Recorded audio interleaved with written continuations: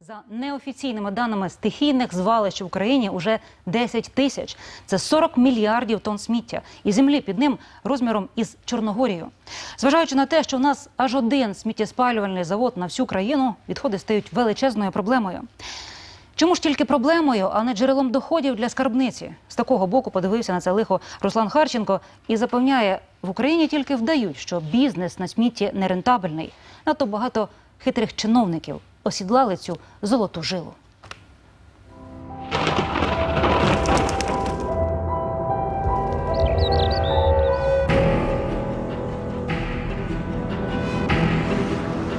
Тисячі кубометрів непотребу.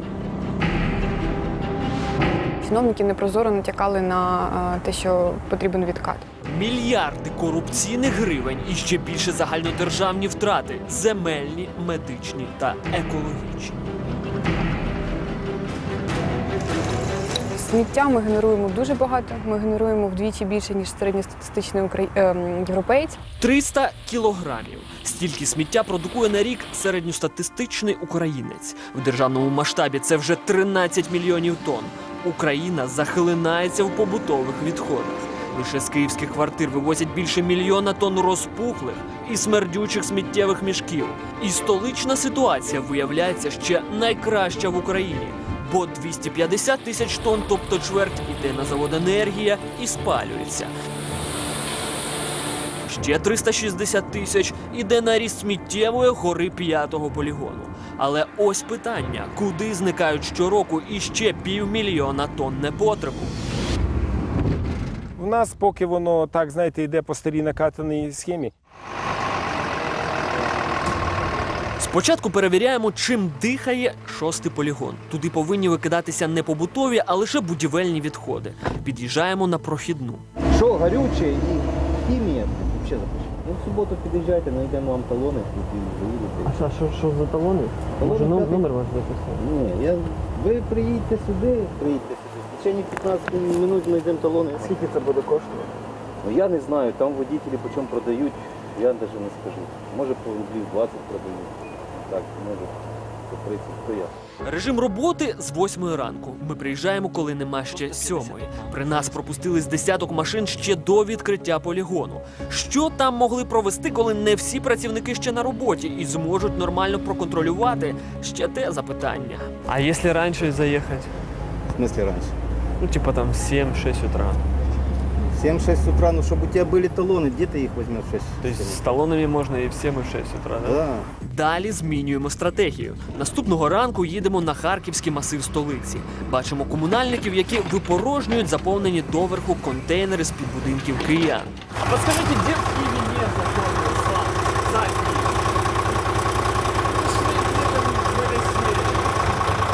А вы дальше на пятый полигон или куда? А куда? Ми дуже здивувалися, коли почули відповідь ні. Адже рішення Київської ради номер 903 2972 ще ніхто не відміняв.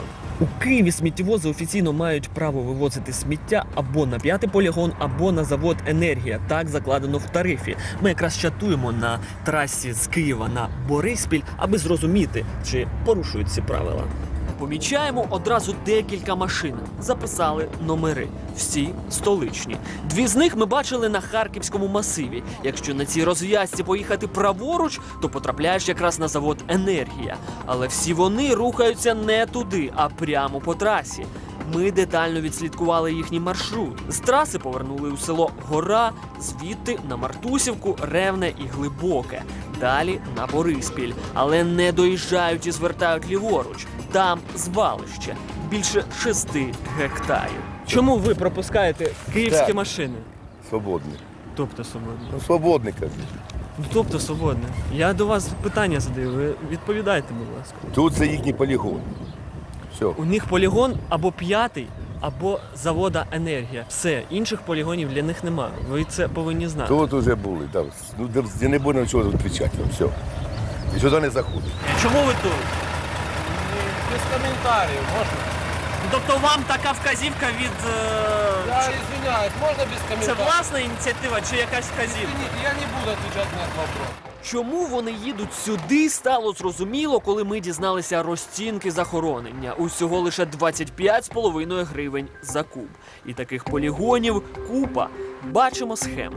Офіційно вони вказують, що здають або за 87 гривень за тонну на завод енергія, або за 110 на п'ятий полігон.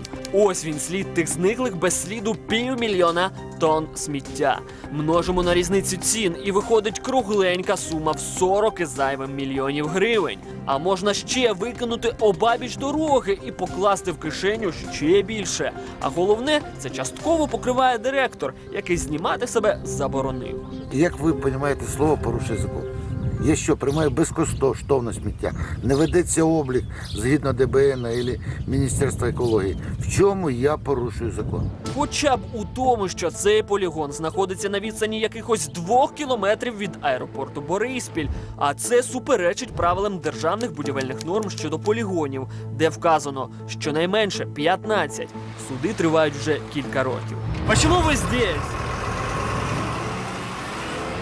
І попри те, альтернатива захоронення відходів у гігантські отруйні гори є до того ж з мінімальним вкладанням грошей спалювати сміття на цементних заводах. На полігон потрапляло би максимум 10% відходів.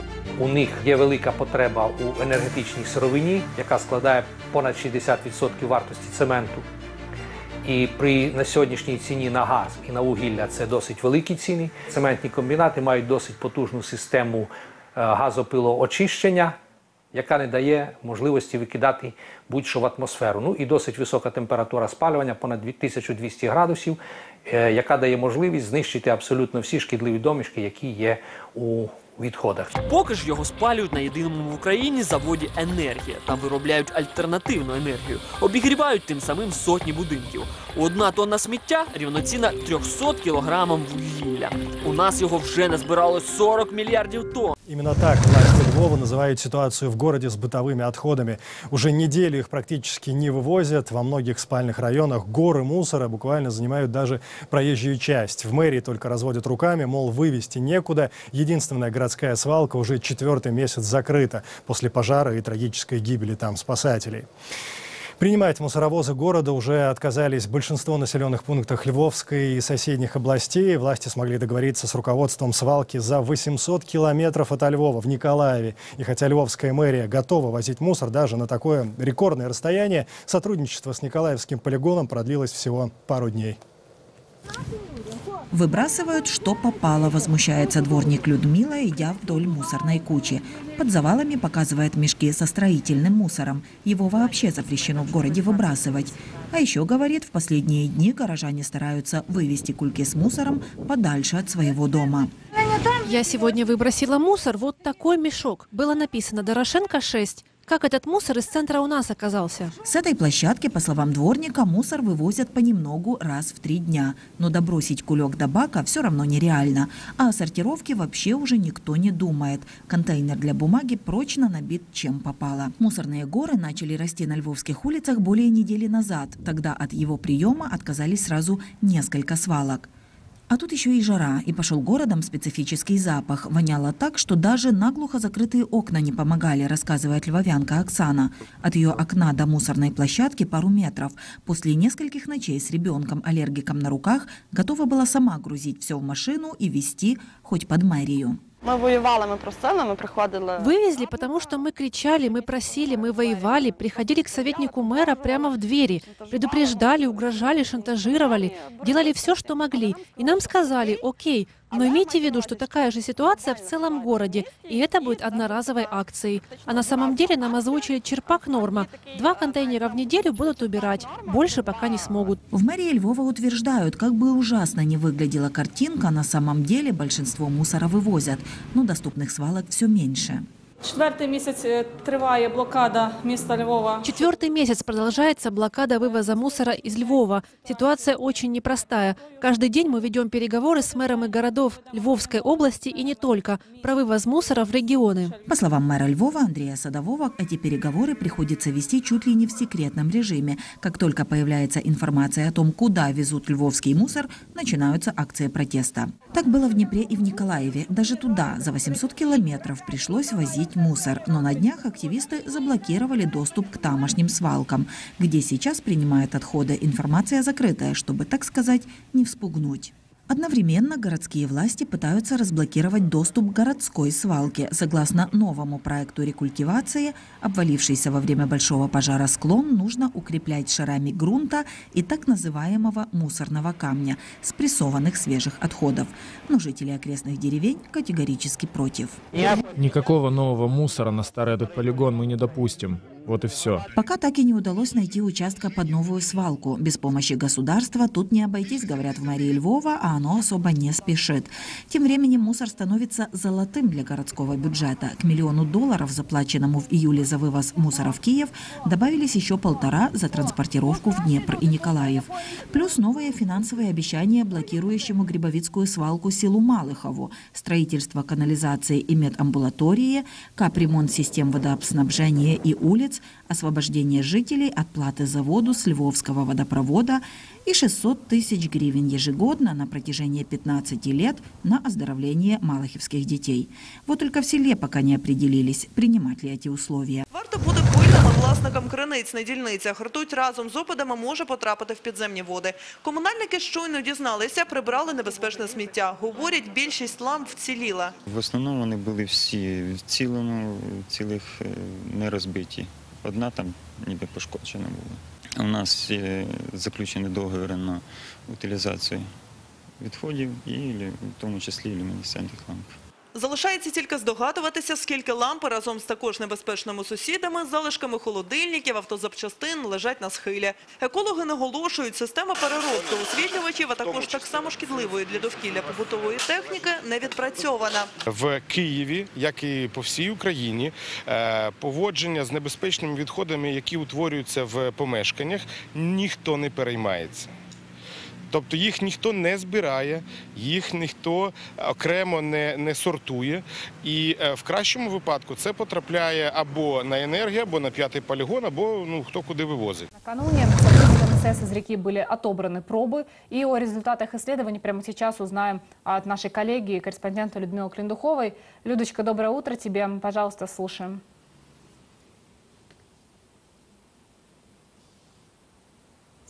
Колеги, доброго ранку. У Корчеватому в Голосівському районі столиці дійсно з'явилася інформація, що нібито у воду у річку Коник потрапляють якісь небезпечні е, домішки, хімікати. Таку інформацію повідомив один зі співробітників компанії, яка міститься на берегах цієї річки. Чоловік е, розповідає про те, що поряд із ними сусідяться фірми, які займаються виробництвом хімічних реактивів. Саме їх він і підозрює у тому, що вони можуть скидати е, небезпечні хімікати у воду. Санепідемслужба відреагувала на цю всю справу, зробила необхідні дослідження. Є висновки. Олег Миколаївич Рубан е, разом із нами. У нього є ця інформація. Олег Миколаївич, доброго ранку. Розкажіть, які висновки і що в результаті буде вдіяно? Дійсно, за е, е, вчорашніми лабораторними дослідженнями були виявлені нестандартні проби, а саме за, кольором і та за іншими показниками, що не відповідають е, стандартними. Я хочу нагадати, що за будь-якими змінами органолептичними показниками це вже є показник зміни за санітарно-хімічними та мікробіологічними показниками. І громадянини пусть звертаються до територіальних органів Держпродспоживслужби з метою встановлення фактора, тому що це може виникнути для загрози для життя та здоров'я людини. Тому дана людина звернулася своєчасно і на сьогоднішній день будуть проводити повні заходи щодо виявлення даного е, суб'єкта господарювання, який здійснює заборони, і е, будуть застосовані всі адміністративні е, заходи до нього.